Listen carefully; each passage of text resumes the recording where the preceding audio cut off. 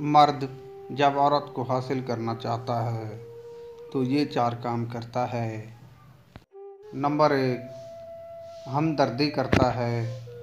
Number दो, साथ निभाने के वादे करता है। नंबर तीन, उसकी तारीफ़ करता है। नंबर चार, और सबसे आखिरी काम, शुरू से उसकी इज़्ज़त करता है।